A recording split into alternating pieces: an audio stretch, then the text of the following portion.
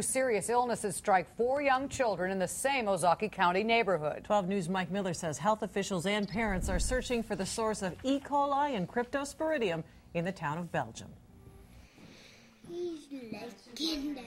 Four year old Tyson Becker recently spent nearly three weeks in a hospital. How do you feel now? Battle. But it was bad for a while. His kidneys were shutting down from an E. coli infection. He needed three surgeries and dialysis and blood transfusions, so it was very it was very scary. Just down the street, a six year old girl and her two year old brother also got E. coli, and another neighbor child has a confirmed case of cryptosporidium.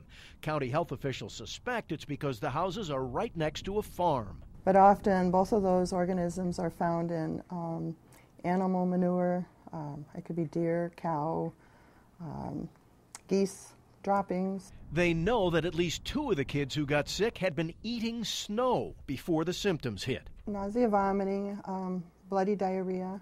Um, we have a lot of illnesses out there right now with the stomach flu that you have diarrhea, but usually they're sicker with E. coli. The county tested the water supply and found it safe. And I kind of like to see more than just that being done. You know, I mean, okay, it's not the water. Okay, what's the next step? Neighbors are concerned about their children. How long will it be living in our yards? And is it in my house and my carpeting? And, you know, how well do I need to be cleaning and for how long? And is this problem going to go away? Families here want answers to those questions, but the health department says with so many possible sources, they may never know exactly where the bacteria came from. In Belgium, Mike Miller, WISN 12 News. E. coli can also be spread by human contact for as long as two weeks after a patient is feeling better. While they search for the source, health officials say people in that area should pay extra attention to hand washing.